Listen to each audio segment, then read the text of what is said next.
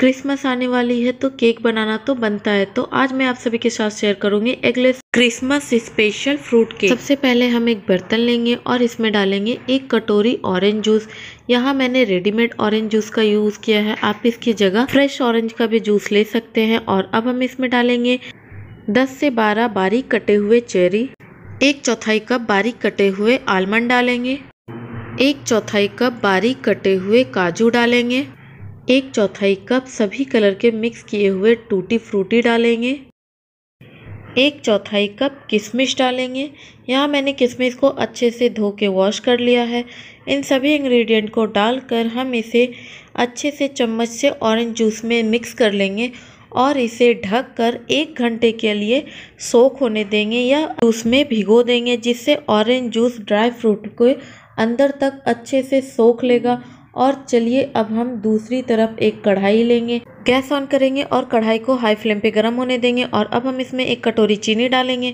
चीनी डालकर गैस का फ्लेम मीडियम कर लेंगे और मीडियम फ्लेम पे हम इसे चलाते हुए चीनी को कैरमलाइज कर लेंगे या मेल्ट कर लेंगे और चीनी को हम इस तरीके से कंटिन्यू चलाते रहेंगे जिससे चीनी जलेगी नहीं। और ये देखिए, चीनी मेल्ट होना स्टार्ट हो गया है। हमें इसमें पानी का यूज़ बिल्कुल नहीं करना है। चीनी को हमें कैरमलाइज करना है। अगर हम इसमें पानी डालेंगे तो चीनी का चाशनी बन जाएगा।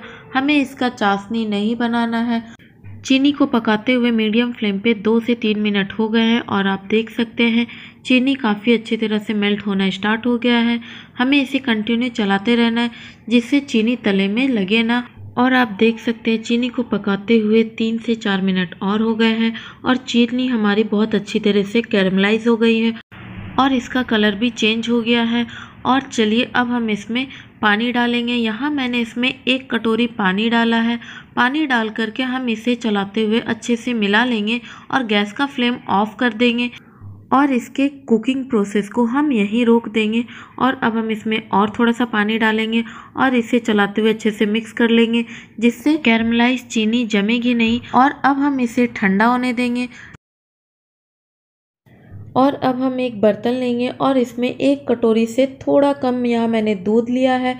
दूध यहाँ मैंने नॉर्मल रूम टेम्परेचर पे लिया है और सेम कटोरी से ही हाफ़ कटोरी कुकिंग ऑयल डालेंगे और इन सभी को हम मिक्सर से अच्छी तरह मिक्स कर लेंगे और इसमें एक चम्मच वनीला एसेंस डालेंगे। यहाँ मैंने वनीला एसेंस का यूज़ किया, आप इसकी जगह स्ट्रॉबेरी या कोई भी और फ्रूट एसेंस का यूज़ कर सकते हैं। और अब हम इसमें कैरमलाइज किया हुआ एक कटोरी चीनी डालेंगे। और इन सभी को विस्कर से अच्छे से मिक्स कर लेंगे। आप इसकी जगह चम्मच से भी इसे मिक्स कर सकते हैं। और ये देखिए, यहाँ मैंने इसे अच्छे से मिक्स कर लिया है। और अब हम इसमें दो कटोरी मैदा डालेंगे। यहाँ मैंने मैदे को अच्छे से छान लिया है। आप भी केक बनाते समय मैदा को छान के यूज़ करें, जिससे आपके भी केक सॉफ्ट और स्पॉन्जी बनेंगे। और अब हम इसमें तीन चम्मच मिल्क पाउडर डालेंगे। यहाँ मैंने मिल्क पाउडर का यूज़ किया। आप इसकी जगह मलाई का भी यूज़ कर सकते हैं। और अगर आपके पास मिल्क पाउडर ना हो तो आप इसकी जगह दूध का ही यूज़ करें। और आप देख सकते हैं, यहाँ मैंने तीन चम्मच मिल्क पाउडर इसमें डाल दिया है। और अब हम इसमें एक चम्मच बेकिंग पाउडर डालेंगे। एक चौथाई चम्मच नमक डालेंगे। और इसमें आधा चम्मच खाने वाला सोडा या मीठा सोडा डालेंगे। सारे इंग्रेडिएंट डालकर हम इसे चम्मच से हल्के हाथों से एक ही डायरेक्शन में मिक्स करेंगे। केक बनाते समय आप जब भी इसे मिक्स करें तो एक ही डायरेक्शन में मिक्स करें, जिससे केक हमारा बिल्कुल परफेक्ट बनता है और ये अच्छी तरह सेट होता है। नहीं तो आपका केक बिगड़ सकता है। आप इसे कट और फोल्ड मेथड से भी इसे इस तरीके से मिक्स कर सकते हैं। और ये देखिए, यहाँ मैंने इसे हल्के हाथों से एक ही डायरेक्शन में केक के बैटर को अच्छे से मिक्स कर लिया है। और ये देखिए, काफ़ी ये थिक हो गया है। और अब हम इसमें ऑरेंज जूस में सोक किए हुए ड्राई फ्रूट डालेंगे और साथ में ऑरेंज जूस भी डालेंगे। और आप देख सकते हैं ड्राई फ्रूट ऑरेंज जूस को काफ़ी अच्छी तरीके से सोक कर लिया है। यहाँ मैंने इसे एक घंटे के लिए रखा था। आप इसे ओवरनाइट या तीन से चार घंटे के लिए भी भिगो सकते हैं। और अब हम इसे हल्के हाथों से चलाते हुए ऑरेंज जूस को भी एक ही डायरेक्शन में बैटर में अच्छे से मिक्स कर लेंगे। और ये देखिए, बैटर हमारा काफ़ी अच्छी तरीके से मिक्स हो गया है। और ऑरेंज जूस के साथ बैटर में डाला हुआ बेकिंग सोडा और बेकिंग पाउडर भी एक्टिव हो गया है। और ये देखिए, बैटर हमारे काफ़ी फ्लफ़ी हो गए हैं। और आप देख सकते हैं, बैटर परफेक्ट हमारा बन के तैयार हो गया है। और अब हम केक बनाने के लिए इस तरीके से एक केक टील लेंगे। और इसके ऊपर बटर पेपर डालेंगे। और यहाँ मैंने बटर पेपर के ऊपर पहले से ही थोड़ा सा ऑयल लगाकर इसे अच्छे से ग्रीस कर लिया है और अब हम इसे केक टिन में इस तरीके से डाल करके इसे हाथ से दबाते हुए अच्छे से सेट कर लेंगे। और ये देखिए यहाँ मैंने इसे सेट कर लिया है और अब हम इसमें केक के बैटर को डालेंगे। बैटर डालकर हम इसे एक से दो बार इस तरीके से टैप कर लेंगे जिससे इसका एक्स्ट्रा एयर निकल जाएगा। और अब हम क्रिसमस फ्रूट केक के ऊपर थोड़े से ड्राई फ्रूट डालेंगे। और ये देखिए, यहाँ मैंने चेरी को इस तरीके से कट कर लिया है। इसके ऊपर चेरी कटे हुए काजू आलमंड सारे ड्राई फ्रूट डाल करके हम इसे अच्छे से डेकोरेट कर देंगे। और आप देख सकते हैं केक को यहाँ मैंने अच्छे से ड्राई फ्रूट से डेकोरेट कर दिया है। और केक बनाने के लिए यहाँ मैंने कुकर को मीडियम फ्लेम पे पहले से ही गर्म होने के लिए रख दिया था। और ये देखिए कुकर हमारा काफ़ी अच्छी तरीके से गर्म हो गया है।